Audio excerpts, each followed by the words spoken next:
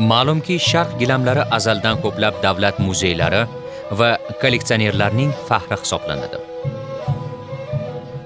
Bizning loyihamizda jahon to'plamlaridan olgan o'zbekistondagi gilamdozlik haqida albom va hujjatli film mavjud. Eski texnologiyalarni izlab topish maqsadida biz gilamdozlikning eng qadimiy markazlaridan bo'lmish samarqand viloyatining jom qishlog'iga keldik. Va biz hozirda ushbu an'ana avloddan avlodga o'tib kelayotgan usta gilamdoz qunduzxon xudoyorovaning uyidamiz. Qunduz opa shu san'at haqida bir og'iz so'z gapirib bersangiz. Bu narsa bizlarga qon qonimizga singib ketganda shundan e, uyda onalarimizga yordam qilganmiz undan uyga tushganmiz. Onalarimiz shuni orqasidan qizlarga gilam to'qib berardi ikkita ikkita. Uylarga mana shunday nimalarga biz shunday to'qib kiyganmizda endi. Bularni qayerdan topasiz? Tabiatdanmi bizlar bularni tabiatdan ko'pini tabiatdan olamiz tabiatda bu yerda yong'oq dosh zonamizda e, hasarasdan bo'ladi issiq deydi bizada ana shunaqalar bo'ladi. O'zi mana shu hayot mobaynida nechta gilam to'qigansiz endi uning cheki yo'q aytolmayman. Cheki yo'qda endi masalan endi butun dunyomizning har bir chagida shu men to'qigan gilamlarning tekkan qo'lim tekkan gilamlarda odamlar o'zbekiston gilamdozlik haqidagi yangi albomda asrdan asrga o'tib kelayotgan an'ana saqlanib qolingan. Ushbu albom avval eslatib o'tilgan o'zbekistonning gilamlari va kashtalari kitobining mantiqiy davomi bo'ldi. Birinchi tomda o'zbekistonda tayyorlangan gilamlarni yanada chuqurroq va kengroq o'rganish lozimligi alohida ta'kidlangan. Aynan shuning uchun o'zbek gilamlari to'g'risida alohida kitob tomini tayyorlash g'oyasi tug'ildi. Bugun biz sizlar bilan sankt peterburgda joylashgan buyuk pyotr nomidagi antropologiya va etnografiya davlat muzeyidan o'rin olgan o'zbek gilamlari to'plamlari bilan tanishamiz. Ma'lumot uchun aytish joizki ushbu yirik muzey pyotr birinchi farmoni asosida tashkil etilgan. Rossiyada birinchi muzey bo'lib u kunstkamera deb ham ataladi. Kunstkameradagi gilamlar to'plami o'zining rang barang turlarga boyligi hamda betakror badiiy bezaklari bilan ajralib turadi. Bizning asosiy kolleksiyamiz o'rta osiyoga qilgan tashriflarimiz natijasida vujudga kelgan. Xususan o'rta osiyoga qilingan arxeologik va etnografik ekspeditsiyalar bunda asosiy manba vazifasini o'tagan. Turfa madaniyatni o'zida aks ettirgan boy o'lkaning o'ziga xos jihatlari hech kimni befarq qoldirmaydi. Umuman olganda o'zbek madaniyati tarixi qadimdan bizni qiziqtirib keladi. Yelena tsaryova o'rta osiyo gilamdozligi bo'yicha yirik mutaxassis hisoblanadi. Tadqiqotchining fikricha kunstkamerada 19 asrdan boshlab saqlanayotgan ko'plab gilamdozlik mahsulotlari undan ancha oldin yaratilgan. Gilam mahsulotlarining aksariyat qismidan ilgari foydalanilmagan va shu bois ular hozirgacha yaxshi saqlanib kelgan. Avvaliga ular buxoro arkida so'ng qishki saroyda saqlangan. Biz bilamizki 19 asr boshlarida avval moskvaga so'ng peterburgga buxoro amirligidan ko'plab elchilar sovg'a salomlari bilan tashrif buyurishgan. 19 asrning ikkinchi yarmidan boshlab esa shaxsan amirlarning o'zlari toj kiydirish marosimi va boshqa muhim voqealar munosabati bilan kelishgan. O'shanda ushbu sovg'a salomlarni karvonlar orqali olib kelishgan. Aravaga qo'shilgan otlar esa zarli to'shamalar bilan ko'rsatilgan. Oltin suvi yuritilgan kumush to'qalar bilan bezatilgan 19 asrga taalluqli bu yopinchiqlar kunstkameraning faxri hisoblanadi. Yopinchiqlarni hashamatli bezash an'analariga qaramasdan ularga bunday bezak berish juda kam hollarda uchraydi.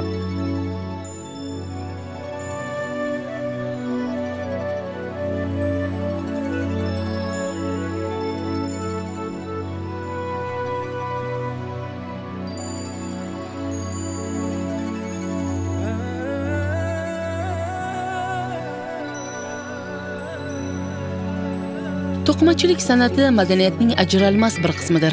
Ikki daryo oralig'ida joylashgan keng ko'lamdagi chorvachilikka ega bo'lgan o'zbekiston uchun bu juda zarur edi. Umuman olganda qaysi bir madaniyatni o'rganmaylik to'qimachilik uning asosiy qismini egallaydi. O'zbek gilamlarining tarixi shunisi bilan qiziqki u mamlakatning tarixini aks ettiradi.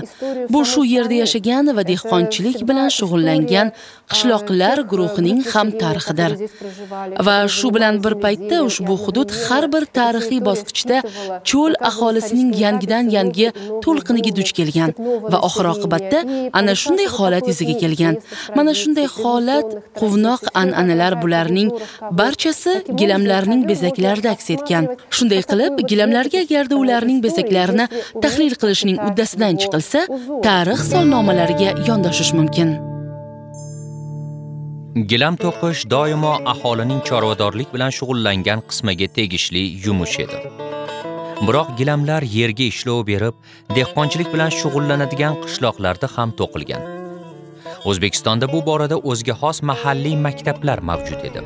Eng yirik gilamdozlik mahsulotlarini yetkazib berish shuhrati amudaryo bo'ylaridagi qishloqlarga tegishli bo'lgan. Bundan tashqari qashqadaryo samarqand farg'ona vodiysi va qoraqalpog'istonda ham gilamdozlik bilan shug'ullanishgan. 19 asrda O'zbekistonda yashagan xalqlar va millatlarning ko'pchiligi aynan gilamdozlik bilan shug'ullangan. Xususan, turkmanlar, qoraqalpoqlar, qozoqlar, mahalliy arablar va qirg'izlar bu ishni juda ham yaxshi uddalashgan.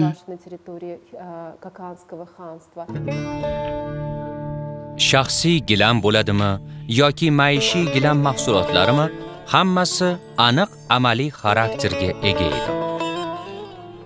Ammo gilamdo'z ustalarning mahorati ila ular sayqallanib takomilga yetkazilgan.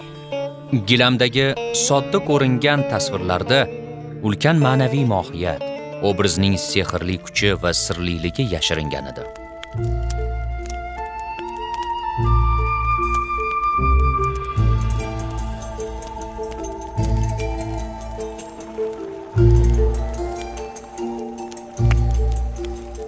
Gilamlarda biz ko'rayotgan barcha ramzlar juda qadim tarixni anglatadi.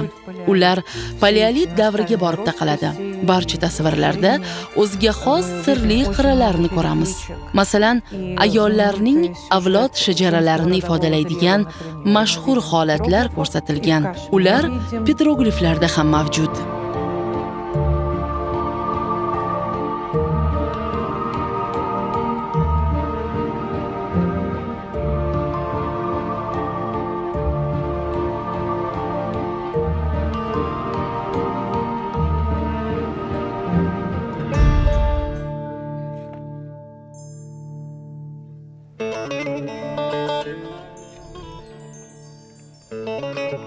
Ensiz to'quvchilik dastgohlarida oq enli qiz gilam popuksiz gilamlari to'qilgan. Bu gilamlarning alohida guruhi bo'lib ular qo'ng'irot va laqaylar tomonidan to'qilgan va doimo o'ziga xosligi bilan ajralib turgan.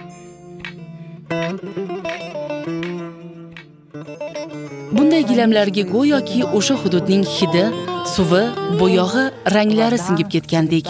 Ular tanish va balki har doim ham uni to'qigan xalqning qaysiligini belgilash qiyin. Biroq biz bu ikki daryo oralig'idagi hududga tegishli ekanligini ayta olamiz. Bunga eng yorqin misol tariqasida qiz gilamini keltirish mumkin. U o'zbek kelinlarining sepida albatta bo'lishi kerak edi va noyob buyum sifatida butun umr saqlangan. Uning naqshlari muhim ahamiyat kasb etgan. Bu yosh oilani muhofaza qilishdir. Qiz gilamning sotilishi o'sha oila uchun katta baxtsizlik va sharmandalik hisoblangan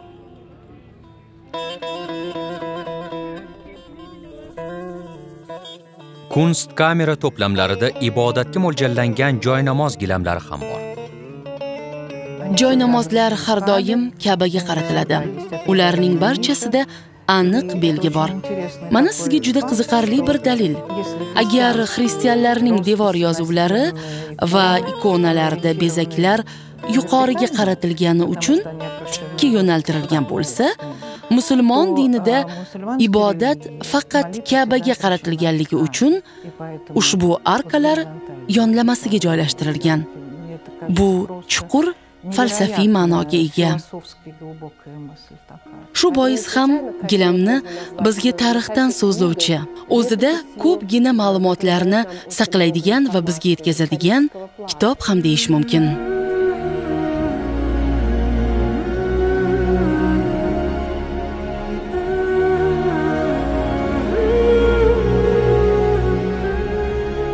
o'zbek gilamlarining ajoyib to'plamlari kunstkameradan tashqari rossiyadagi sankt peterburg etnografik muzeyida ham saqlanmoqda. Gilam bu barcha ijtimoiy darajalar va har qanday jamiyatning barcha qatlamlariga taalluqli buyumdir gilam oliy tabaqadagi kishilarga ham tegishli bo'lib shuningdek u eng oddiy insonlar hattoki e, darveshlarga hammi? Ha darveshlarning ham hamrohiga aylangan moddiy bisot hisoblanadi. Rossiya etnografik muzeyiga gilam va kashtalarning keltirilishiga 19-asrda taniqli tadqiqotchi samuel dudin tomonidan asos solingan. Samuel martinovich dudin 1901-yili o'rta osiyoga safar qiladi va ajoyib gilamlar to'plamini yig'adi. Bu gilamlar kolleksiyasi bizning faxrimiz hisoblanadi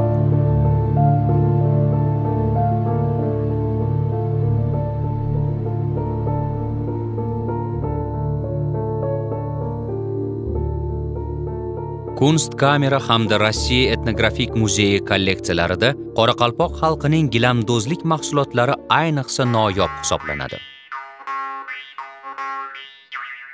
Bu o'tovni o'rovchi bezaklar bo'lib alohida olamning o'zidir. O'ziga xos qadimiy ramz texnik jihatdan ular bugun to'qilayotgan mahsulotlar ichida eng qadimiylaridir ular yerga nisbatan parallel bo'lib rasmlariga tik holatda qarash lozim.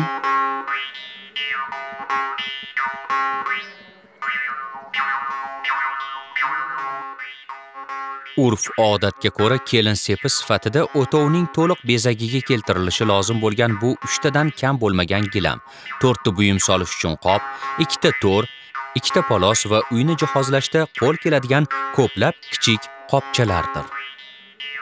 Qoraqalpoq gilamlari to'plamlari mashhur inson o'zbekistonda yaxshi tanilgan igor vitalyevich savitskiy nomi bilan bevosita bog'liq. U nukusdagi mashhur muzeyga asos solgan. U ajoyib inson edi. 1958 yili u yirik muzeylar uchun ikkita qoraqalpoq to'plamini moskvadagi sharq xalqlari muzeyi va biz uchun topshirdi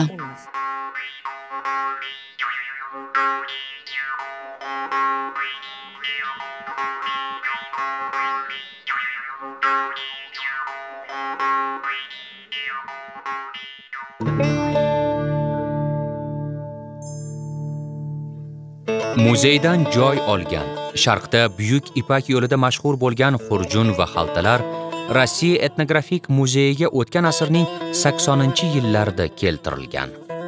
Ularni muzey xodimi boris gamburg butun respublika bo'ylab to'plagan.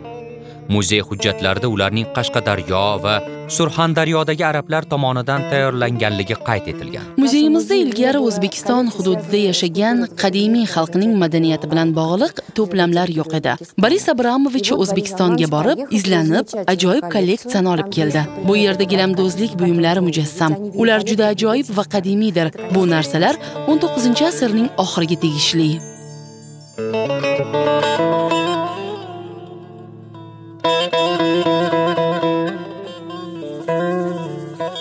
Mahalliy arablarning musulmonchilikni o'rta osiyoga olib kelishi jarayonida arabiston yarim orolidan o'rta osiyoga ko'chib kelganlarning avlodlaridir.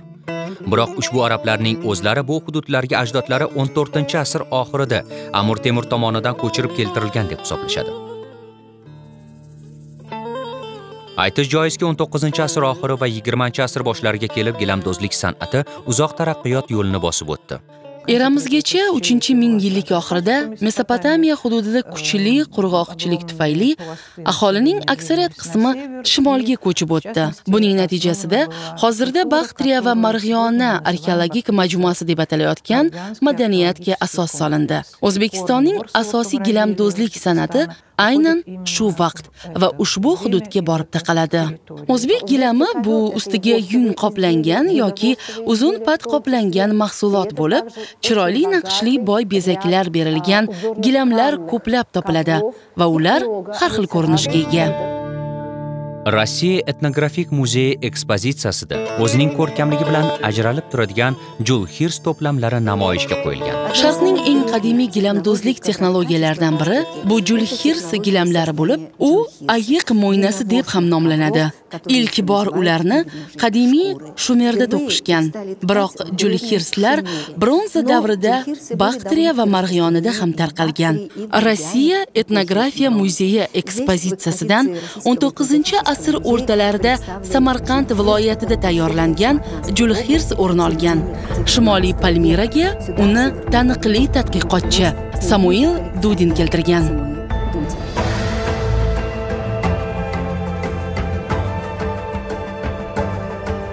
Biz siz bilan shu davrgacha inqilob urush va to's to'polonlarga qaramay ajoyib tarzda saqlangan asarlarni ko'ryapmiz.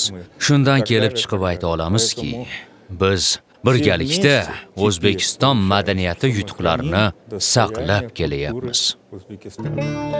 O'zbekiston gilamlari o'sha davrlarda buyuk ipak yo'li orqali buxoro va samarqanddan xorazm va farg'ona vodiysi va termizdan yaqin sharqqa va shu tariqa yevropa davlatlariga yetkazib berilgan. Ularni o'z maishiy hayotlarida asqotgani uchun ham to'qiganlar. O'rta asrlardan boshlab ularni san'at asari sifatida baholaganlar. Biz ko'plab namunalarni to'plashga harakat qildik. Undan nafaqat yuqorida tilga olingan rossiya etnografik muzeyi va kunstkameradagi gilamlar balki o'zbekistondagi ko'plab muzeylar va shaxsiy kolleksiyalardagi namunalar ham o'rin olgan.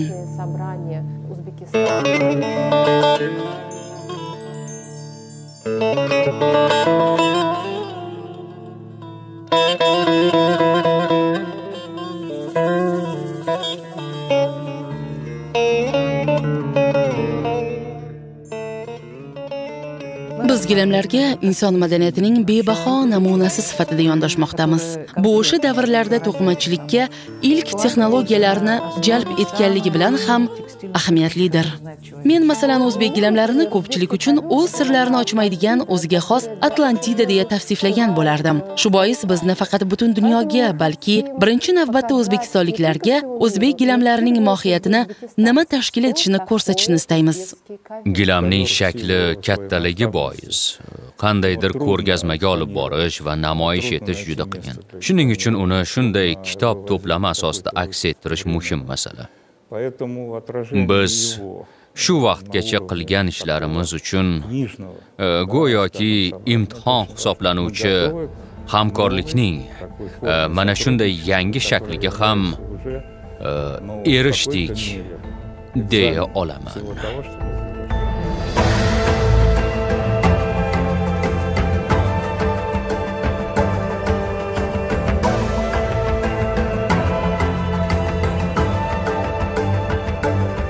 o'n to'qqizinchi asrda samuil dudin o'rta osiyoda to'plagan gilam mahsulotlari haqida shunday yozadi. O'zbek gilamdozlik mahsulotlari orasida o'z chiroyi manzaralarning chuqurligi va shaffofligi bilan oddiylik va hatto suratlarning sxemaviyligi bo'yicha ham fors va kichik osiyo gilamlaridan a'lo darajada bo'lgan nusxalari ko'p uchraydi.